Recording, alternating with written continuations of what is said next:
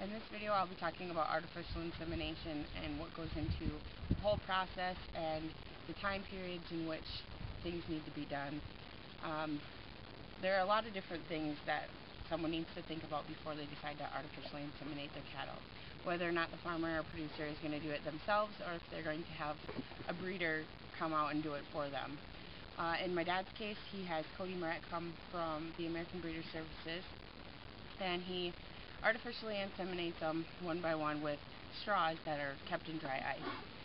The first process in artificial insemination is putting in CIDRs, which are little plastic applicators. They're, they have a hormone on them that makes the cow think that they are pregnant.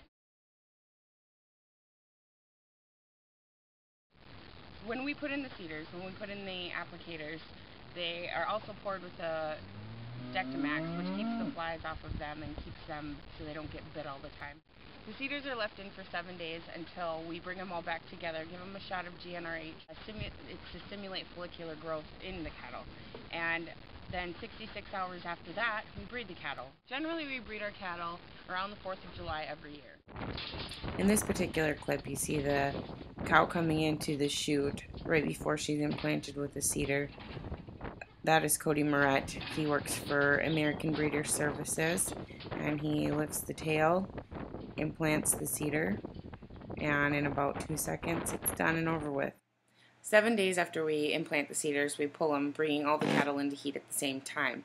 This makes it so Cody can breed them all at the same time.